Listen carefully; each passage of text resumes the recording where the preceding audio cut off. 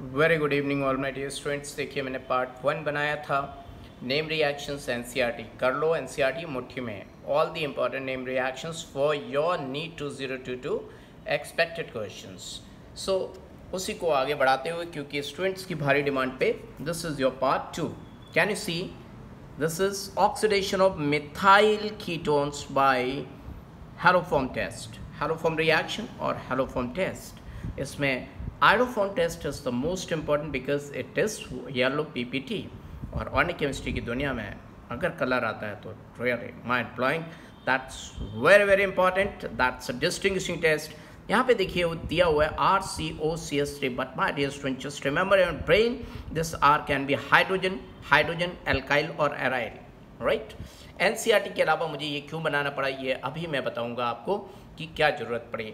NCERT में given है R C O C S three gives R C O N A Rexona then C H X three then if the sex is being iodine then iodoform test.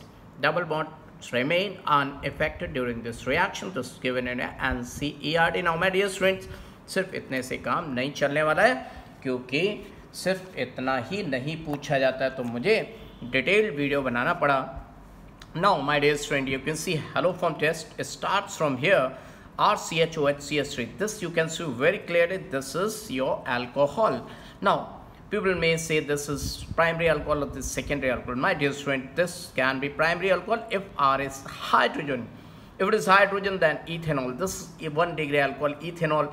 ये इकलौता alcohol है जो पीने के काम भी आता है not good for health but yes आता है एंड हेलो टेस्ट भी देता है। एंड सेकेंडरी एल्कोहल की बात करें तो all to all all to all all to all three date movie देखोगे all is well all is well all is all to all no my dear student student must we start thinking that all secondary alcohol gift no my dear student no I haven't set all secondary alcohols I am talking about all if you talk about secondary alcohol this is secondary alcohol but this is not going to give you this test because इसके ना में ना बाजू में किसी भी side methyl नहीं है सो so, मिथाइल होना चाहिए so we can say my dear student all दो secondary alcohols which are to all definitely will give this test now I2NNOS this is mild oxidizing agent and my dear student ये mild oxidizing agent क्या करेगा इसका oxidation करेगा और ये R C O C S RCOCH3 बन गया ये NCERT में दिया हुआ था methyl ketone if this is H, then hydrogen means aldehyde acetaldehyde aldehyde की दुनिया में सिर्फ़ इकलौता acetaldehyde और प्राइमरी alcohol की दुनिया में सिर्फ़ एथेनॉल है, जो ये टेस्ट देते हैं। माय डियर स्टूडेंट आगे चल के ये बहुत बड़ा इंपॉर्टेंट क्वेश्चन बनता है कि acetaldehyde is the only aldehyde in this world with your positive Tollens test as well as iodoform test now इसकी रिएक्शन फिर से होगी के एच आई टू ये देगा मोनोहेलोजेनेटेड ketone or aldehyde, dihalogenated ketone or aldehyde, trihalogenated ketone or aldehyde. My dear student, 1, 2, 3, 4, 5. All these 5 types of compounds will give you positive haloform test. Okay, is it clear? Now, here is Kolbe's electrolysis. See, it's given over there in your NCERT Kolbe's electrolysis where it's gone. See my dear student, it's given over here. कहाँ गया Kolbe चलो जहाँ भी है, अभी देखते हैं। Kolbe's electrolysis let's see Kolbe's electrolysis ये देखिए, मेरे पास शॉर्ट ट्रिक है कोलवेस इलेक्ट्रोलिसिस के लिए माय डियर स्टूडेंट्स कि आपको कैसे करना है। देखिए, आप यहाँ से तोड़ लीजिएगा फ्री रेडिकल फ्री रेडिकल और इसको जोड़ लीजिएगा राइट ये आपको मिल गया ब्यूटेन क्या मिल गया? ब्यूटेन ये आपको ब्यूटेन मिला।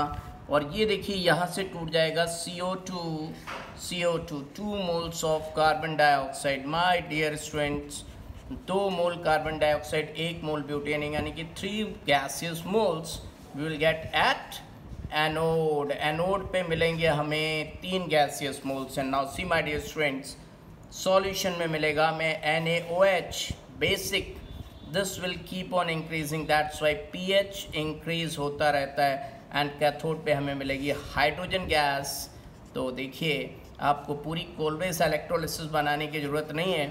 आपका बड़ा ही शानदार तरीके से हो गया और ये सॉल्यूशन में मिल गया हमको। सो एनोड पे तीन मोल कैथोड पे एक mole three raise to one and this is your Kolbe's electrolysis I hope इतनी बात सबको क्लियर हो गई एकदम समझ में आ गई। नाउ माय डियर स्टूडेंट्स आगे बढ़ते हैं हम लोग। और आगे जब हम बढ़ते हैं तो ये बड़ी ही इंपॉर्टेंट रिएक्शन थी माय डियर स्टूडेंट्स क्या रिएक्शन है? देखो। साइड चेन ऑक्सीडेशन इस बेंजीन पे कितना भी लंबा एल्काइल ग्रुप लगाओ मतलब एक कार्बन दो कार्बन तीन कार्बन चार कार्बन स्विट्जरलैंड तक हो स्वीडन नॉर्वे फिनलैंड तक हो, सच्चा डेर तक ही क्यों ना हो? वो सब सी ओ ओ एच यानी कि बेंजोइक एसिड आंसर आएगा माय डियर स्टूडेंट बस याद रखिएगा कि जो बेंजीन से कार्बन लगा हुआ है, उस पर एटलीस्ट एक हाइड्रोजन होना चाहिए। बाकी कितनी भी लंबी चेन हो मतलब ये मिथाइल लगाओ इथाइल लगाओ आइसोप्रोपाइल लगाओ बट श्री ब्यूटाइल नहीं होना चाहिए। क्यों? क्योंकि वहाँ पे एच नहीं होगा। ये साइड चेन ऑक्सीडेशन रिएक्शन है। इसमें बेंजोइक एसिड मिलता है। और ये रिएक्शन केमेनोफोर के हीट से हो सकती है पोटेशियम डाइक्रोमेट एसिडिक मीडियम से हो सकती है। इन दोनों से ही हो सकती है राइट चलिए, आगे देखते हैं हम।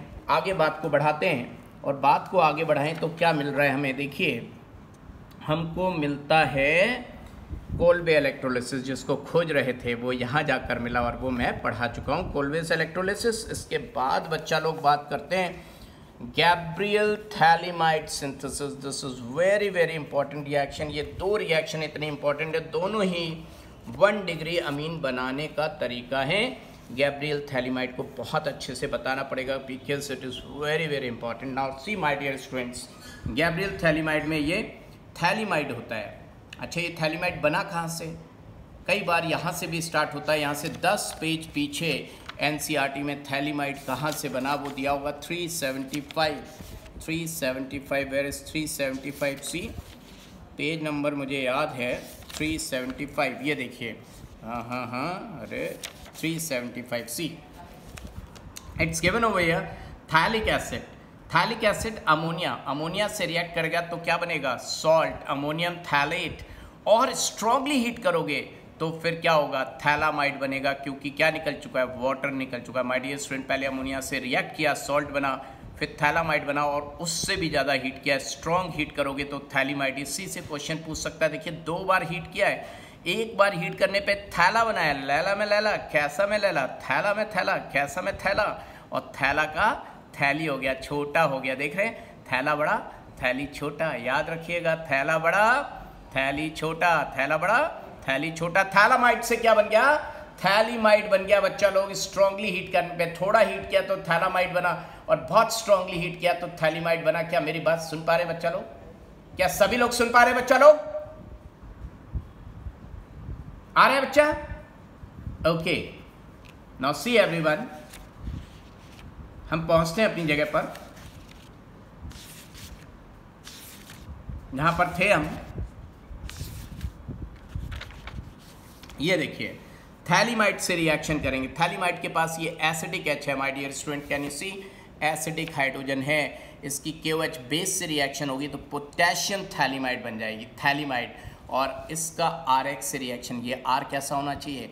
एलाइल हो सकता है नॉर्मल हो सकता है विनाइल एंड एराइल नहीं होना चाहिए, नहीं तो नहीं रिएक्शन होगी। ये देखिए एन एल्काइल थैलीमाइड हाइड्रोलिसिस करोगे तो आर एन एच टू मिल जाएगा, लेकिन ये R N H two vinyl amine नहीं हो सकता और एनलिन नहीं हो सकता। Aniline can't be prepare by this reaction लिखा हुआ है। Aromatic amine but remember that my dear student benzyl amine भी एरोमेटिक है, लेकिन उसको बनाया जा सकता है। इनको लिखना चाहिए था, जो डायरेक्ट डबल बॉन्डेड कार्बन से एन लगे हैं, वो नहीं बनाए जा सकते हैं। इन्होंने लिख दिया अराइल अमीन नहीं बनाए जा सकते। यानी कि आधी अधूरी नॉलेज है। क्या आपको समझ में आया कि ऐसे अमीन एन जिसमें nitrogen directly double bonded carbon से लगा, वो नहीं बनाए जा सकते। नाउ अभी की last reaction Hofmann bromamide degradation reaction this is very very important लेकिन एनसीईआरटी में जितना दिया है, उससे कुछ नहीं काम चलेगा। पहले तो आप रट्टा मार लेते हैं। R C O N H two one degree amide B R two four times N O H और K O H alcoholic R N H two देखिए सी ओ गायब हो जाएगा। Degradation of the chain R और N H two के बीच में जो सी ओ था, ये गायब हो गया। One degree amine one degree amide से प्राइमरी अमीन मिला। माय डियर स्टूडेंट चार क्यू एच चार एन एच क्यू यूज़ हुए? आइए समझाता हूँ। क्योंकि ये इकलौती रिएक्शन है जिसके बहुत ज़्यादा इंटरमीडिएट्स पूछे जाते हैं। बच्चा हमसे कई बार पूछता सर, क्या मैकेनिज्म कर लें मैकेनिज्म कर लें? मैं कहता हूँ, कर भी लो, नहीं भी कर लो इट ऑल डिपेंड्स आओ, देखें क्या डिपेंड करता है। इसके बारे में पूरी जानकारी मैंने यहाँ पर दी आपके लिए। पहले ही देखिए टाइम बचाने के लिए ये देखिए। हॉफमैन ब्रोमामाइड डिग्रेडेशन रिएक्शन आप जितना बताओगे, मैं आपका साथ दूँगा। ये देखिए R C O N H two से आर एन एच टू बन गया। ये देखिए, नीले हाथ चले गए, लाल हाथ आ गए, यानी कि इस रिएक्शन के बीच में ये इसके हाथ कट गए होंगे। ये ठाकुर के दो हाथ हैं और गब्बर बोल रहा है, ठाकुर, ये हाथ मुझे दे दे। यानी कि आर्टिफिशियल हैंड्स आए। आइए देखें, ये तो कहानी थी। हुई कैसे? इसी बात पे आपसे एग्जामिनर पूछेगा बीच के इंटरमीडिएट्स पहली रिएक्शन होगी ब्रोमामाइड बनेगा। कैसे होगी?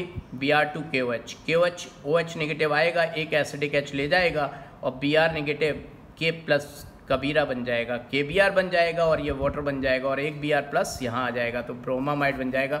इतना ज़्यादा ब्रोमामाइड पे फोकस करने की क्या ज़रूरत है माई डियर स्टूडेंट हमने एनसीईआरटी में पढ़ा कि एमाइड से ब्रोमामाइड बना लेकिन एक बार एम्स में क्वेश्चन आया, उसने ब्रोमामाइट से स्टार्ट किया। बच्चा रट रट के पागल हो जाता है। Amide one degree amide one degree amide hop happy birthday reaction देता है। हॉपमैन ब्रोमामाइड डिग्रेडेशन कौन देता है?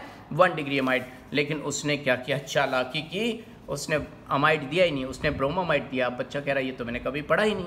बच्चा याद रखिएगा, कहीं से भी इससे उठा के दे सकता है। ये बिल्कुल वैसी बात है कि किसान खेती करता है, गेहूँ उगाता है। अब बीच में आटा अगर तुमको मिल जाए, भैया हम नहीं बनाएँगे रोटी, क्यों नहीं बनाओगे? आटा तो बीच की स्टेट है। आप समझ रहे हो, गेहूँ, आटा, गुथा हुआ आटा, फिर रोटी लाइक दैट ब्रोमामाइड याद रखिएगा। देन एनाइन ऑफ़ ब्रोमामाइड के एच फिर आएगा ओ एच नेगेटिव इसका एसिडिक एच लेके चला जाएगा। ये रेट ऑफ़ रिएक्शन बढ़ जाएगी। क्यों? ये एसिडिक एच पहले का एच एसिडिक था, ये और ज़्यादा एसिडिक हो गया, क्योंकि B R negative minus I लगा रहा है। खैर, इतना ज़्यादा मैकेनिज्म मत करो, याद रखो bromamide anion of bromamide anion of bromamide से बी आर नेगेटिव चला गया। नाइट्रीन एसाइल नाइट्रीन ये देखो एसाइल नाइट्रीन बहुत इंपॉर्टेंट बहुत इंपॉर्टेंट इंटरमीडिएट है बच्चा। पहले ब्रोमामाइड मिला, फिर क्या बना? एनाइन ऑफ़ ब्रोमामाइड फिर एसाइल नाइट्रीन ये दो दो लोन पे लग रहा है कि ये न्यूक्लियोफाइल न्यूक्लियोफाइल बच्चा धोखा खा जाता है, देख के न्यूक्लियोफाइल ये बिल्कुल वैसा ही कि भिकारी की कटोरे में पैसे पड़े हो तो क्या उसको आप रिच मानोगे? नहीं भिकारी रहेगा क्योंकि नाइट्रोजन के पास राइट नाउ सिक्स इलेक्ट्रॉन्स हैं। इसकी सेक्सटेड कंप्लीट है ऑक्टेट इनकम्प्लीट है। याद रखिएगा, acyl nitrene, nitrogen six electron rearrangement होगा तो electron deficient nitrogen isocyanate net eat ate eaten second form ate ऐसे साई ने खाना खा लिया। आइसोसाइनेट नाइट में हुई रेन आइसोसाइनेट रात में बारिश हुई। बारिश, आजकल बारिश का टाइम चल रहा है और साई ने खाना खा चुके थे आइसोसाइनेट और उसके बाद मिका आ गए, कार्बामिक एसिड कार्बामिक एसिड और फिर CO2 निकल गया। वन डिग्री अमीन इस तरह ये विवाह संपन्न हुआ। और ऐसे भी ना याद रहे तो मैं गाना गा देता हूँ। प्राइमरी से कोबरा रिएक्ट करवा के लाई। प्राइमरी अमीन एक कार्बन चुरा के। नहीं समझ में आया। प्राइमरी एमाइट से, आप ढिंचक पूजा की आत्मा डालते हैं। प्राइमरी एमाइट से एक कार्बन चुरा के लाई प्राइमरी अमीन और बीच में कोबरा कोबरा, ढुशुम ढुशुम, चलो गाना गाते हैं। प्राइमरी एमाइट से कोबरा रिएक्ट करवा के, ये गाना क्यों बनाया? अब पता चला बी आर टू के दिया ही नहीं उन्होंने, और दे दिया K O B R potassium hypobromite cobra याद रखिएगा, कई बार गेम खेलता है एग्जामिनर फिर से गाना गाते हैं। क्या गाना था बच्चा लोग? प्राइमरी एमाइड से कोबरा रिएक्ट करवा के लाई प्राइमरी अमीन। एक कार्बन चुरा के, एक कार्बन कम हो गया। आगे ब्रोमामाइड पीछे नाइट्रीन, आगे ब्रोमामाइड उसके आगे नाइट्रीन।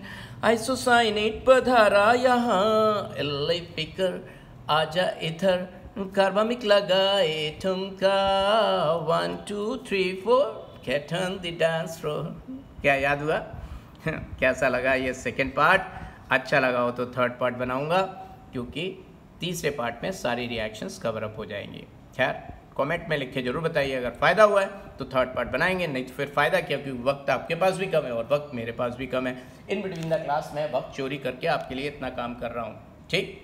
थैंक यू ज़रूर भूल दीजिएगा राइट ऑल द बेस्ट फिर मिलेंगे सिलेक्शन के साथ।